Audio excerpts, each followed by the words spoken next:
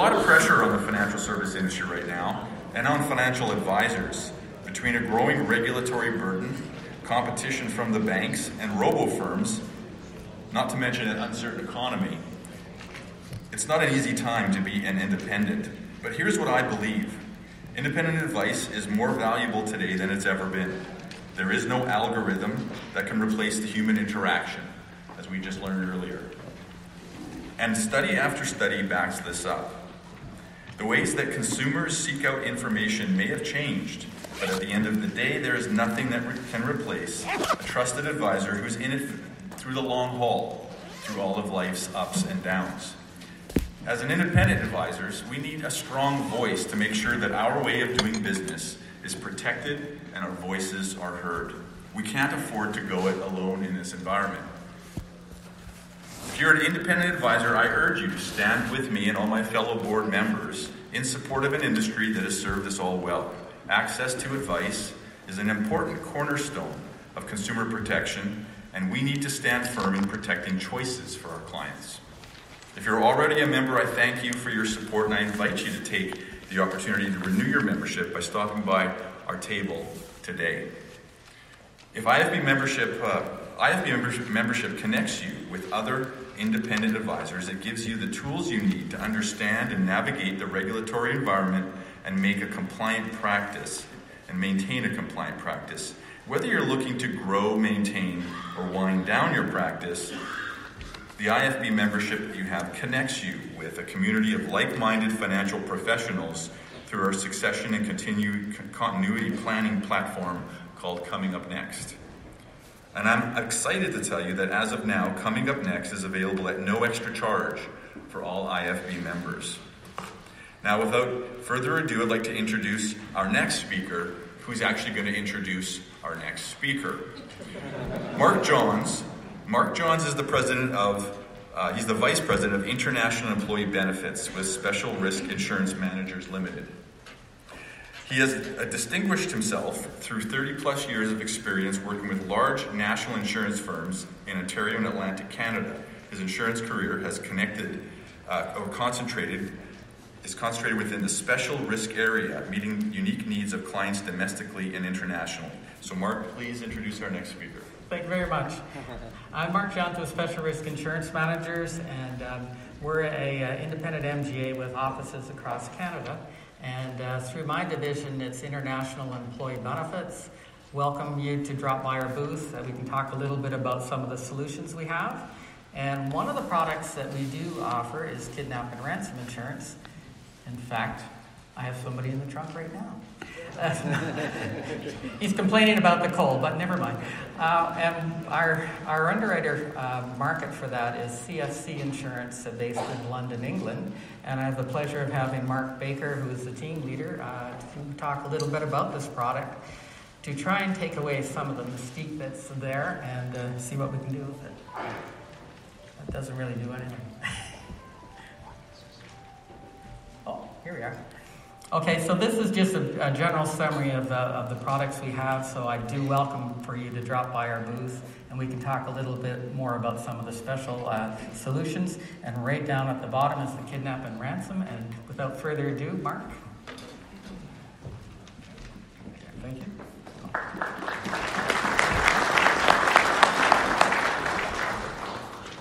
Thank you, Mark. Um, and um, thank you all for attending the Kidnap and Ransom presentation this morning. Good morning to you all. Um, as Mark said, my name is Mark Baker. I head up the Kidnap and Ransom underwriting team at CFC Underwriting Limited over in London. I can imagine most of you have never heard of CFC. I haven't heard of them until I joined them four and a half years ago. Uh, the company was established in 1999 primarily as a cyber specialist insurer, uh, but they were a bit ahead of their time back then no one, nowhere near as many people were interested in cyber as they are these days. Uh, currently, CFC have got over 70,000 clients in more than 80 countries around the world, and in the last 12 months, we've underwritten just over half a billion US dollars in premium. But we're not just about cyber. Um, we do do other products too. We offer combined products that are geared uh, specifically for certain industries, such as financial institutions, healthcare, life sciences, media and entertainment, professional services, and technology companies.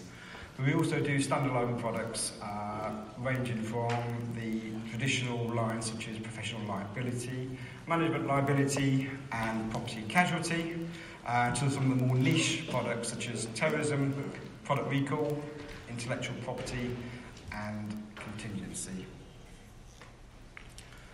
So I thought I'd start today by maybe talking about some of the notable cases that have happened in kidnap and ransom over the uh, past 100 years or so, and how these cases have helped the development of the product as we know it today. So back in 1932, uh, five years after he became the first person to cross the Atlantic solo in an aircraft, Charles Lindbergh suffered the kidnap of his 20 month old son from their second floor nursery in their house in New Jersey.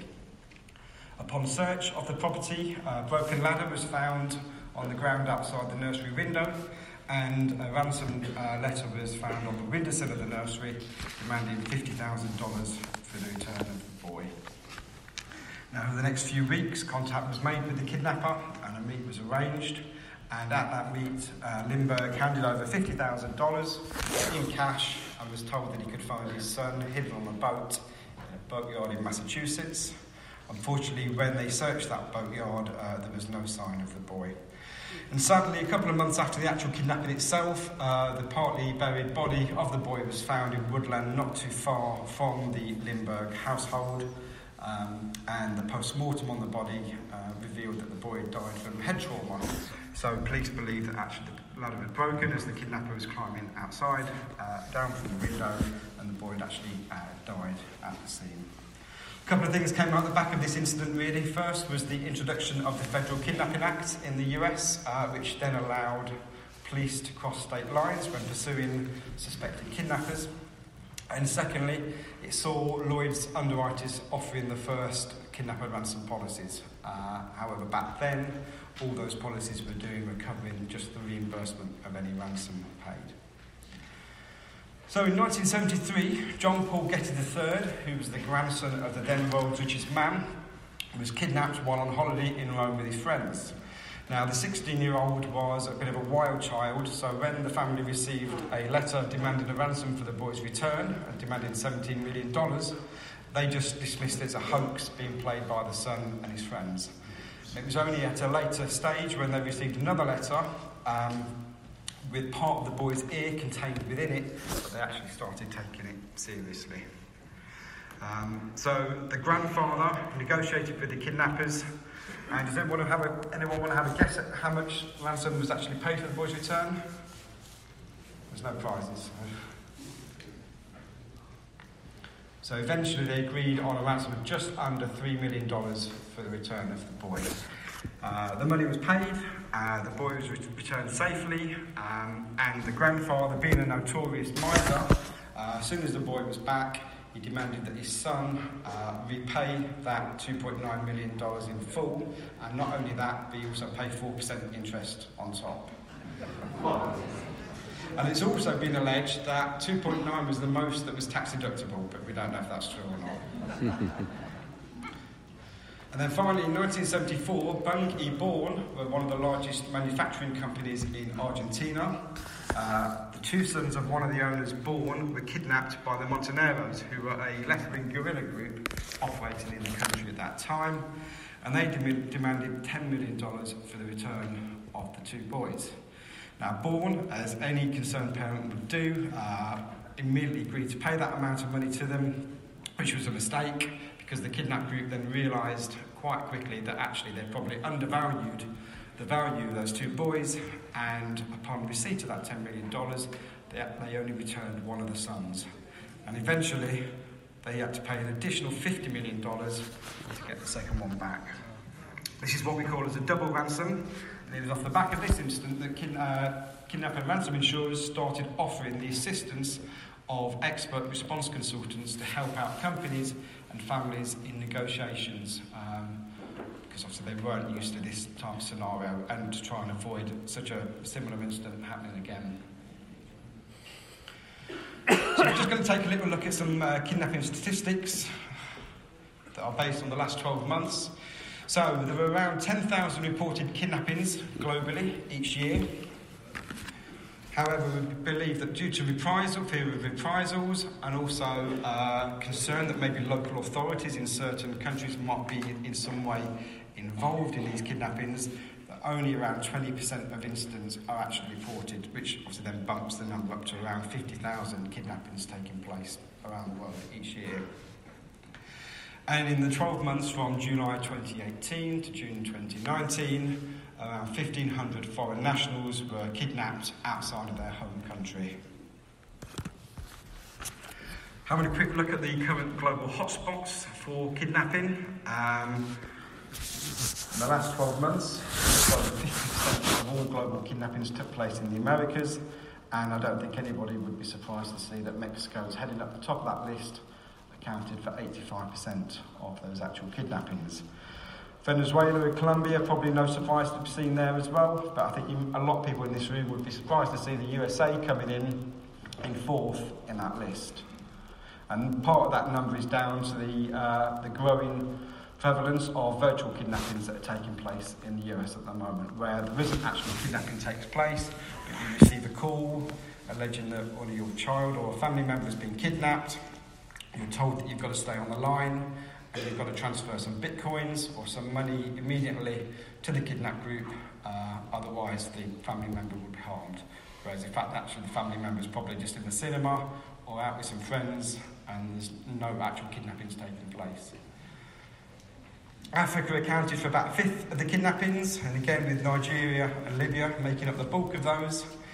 I suppose the other surprising stat from this slide, really, considering what countries are based in this region, is the fact that only 5% of kidnappings take place in the Middle East.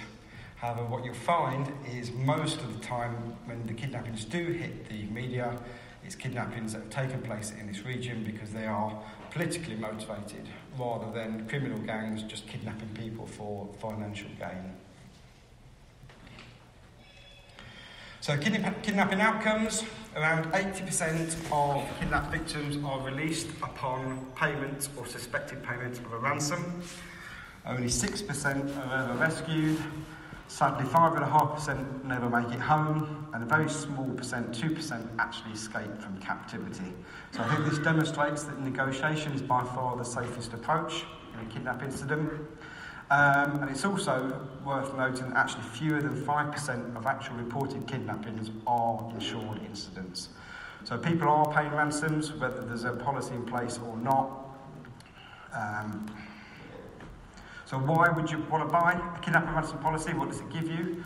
Well, obviously, it provides reimbursement of any ransom that's been paid. And it's important to know that there is a policy of reimbursement.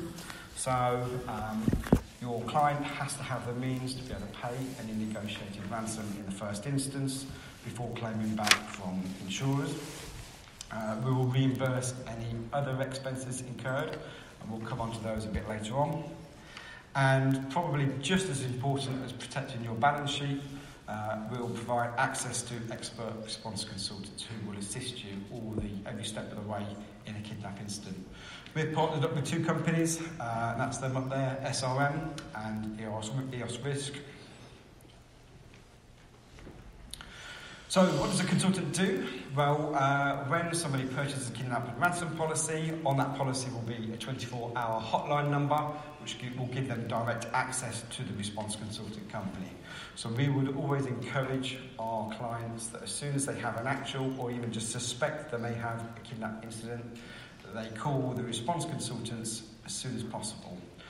Those response consultants then will uh, gather as much information about the incident as they can, and then they'll be able to provide, depending on where in the world that this incident's taken place, they'll be able to provide objective advice as to what they feel that the client should do next. As soon as it becomes clear that it is an actual uh, kidnap incident, then a response consultant will deploy to the office or the home of uh, the kidnapped victim, and then they will draw together the crisis management team if the company's got one, and they'll manage that incident uh, all the way through to uh, conclusion. The consultants will um, train up a communicator, so they'll help identify the best person within the company or the family to perform those negotiations with the kidnapped group